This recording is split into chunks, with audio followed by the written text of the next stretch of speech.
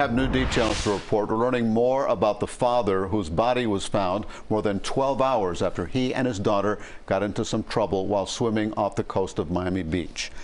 Crews found his body near 55th in the ocean this morning. Another man that tried to help the two of them also lost his life. CBS 4's Ted Scouten joins us live in Miami Beach with those details. Ted? Yeah, Lauren and Elliot, two families are devastated tonight. Those two men who drowned happened here in this section of the of the beach. This is around 55th and Collins on Miami Beach. Both of them were fathers who leave behind heartbroken families. Cell phone video shows the moment when Kirk Mungia's lifeless body was pulled from the ocean near 55th and Collins on Miami Beach. He died after he and his 11-year-old daughter got caught in rough surf Wednesday. Um, around 9:45, they found the body. Um, I saw two ships over there, and I saw the man just jump in the water, so I figured they found him.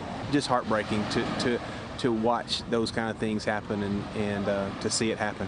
His daughter made it out alive after a tourist from Ohio jumped in and saved her. There was another Good Samaritan who jumped in as well, Ariel Romero Velasquez. He dove in trying to save Mungia and his daughter, but he too got caught in rough surf. He did not survive. He's a very loved man by his friends. He's always trying to help everyone else.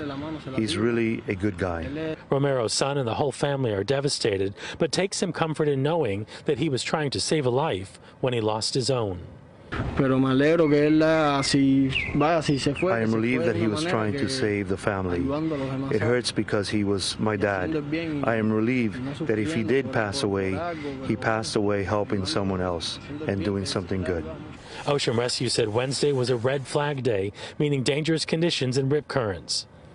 We had many, many rescues yesterday. We probably had, I don't know the exact count, but we had at least 40 rescues, I believe throughout the beach. So it was it was a, a, day where you shouldn't have been out in the water if you weren't a good swimmer. Ocean Rescue urges people to pay close attention to surf conditions and to swim in an area where help is nearby. Always swim near a lifeguard.